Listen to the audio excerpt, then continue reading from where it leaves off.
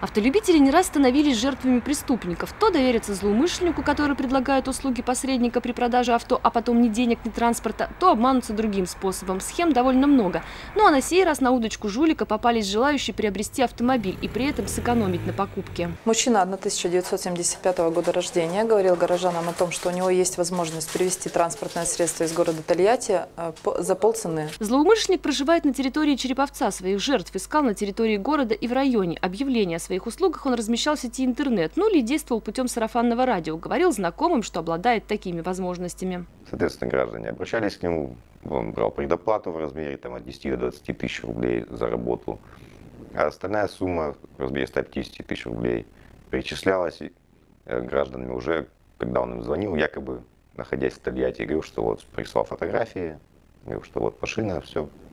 И, соответственно, присылали им, они отсылали деньги данному гражданину. После этого он отключил телефон и переставал общаться с потерпевшей. Сейчас разыскивают потерпевших от действий мужчины. Всем, кто доверился злоумышленнику, оперативники просят обратиться в первый отдел полиции. Ольга Соловьева, Татьяна Кудрявцева. Новости.